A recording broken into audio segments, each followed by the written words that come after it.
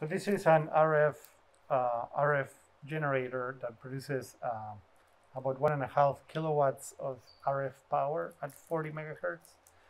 And like this is used to uh, generate a plasma that is used to etch uh, wafers in a semiconductor manufacturing process.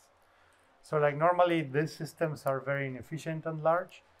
This particular converter um, is much, much smaller than like what you normally see commercially. So basically this is a power amplifier, so it takes in DC power and generates uh, high frequency AC power. So um, applications that really can utilize this are like they're used in kind of commercial radio products because um, for like high efficiency amplifiers, you can use them for like portable radios to broadcast signals. They've also been commercially used for like RF heating and plasma lighting, but um, nowadays people are kind of more more or less using them for other stuff like MRI systems, uh, wireless power, and uh, plasma generating systems for like uh, semiconductor etching machines.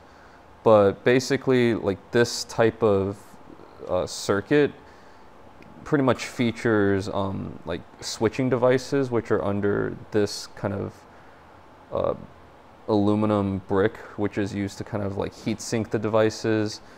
And uh, kind of this portion of the circuit here is used to uh, drive the, basically send signals to turn the switches on and off that are under this uh, brick. And then um, we have kind of like resonant filtering components, uh, like the inductors and capacitors on this side of the board that really kind of handles some of the uh, power conversion from like the DC side to the AC side. So yeah, that's kind of like a summary of what's kind of going on here.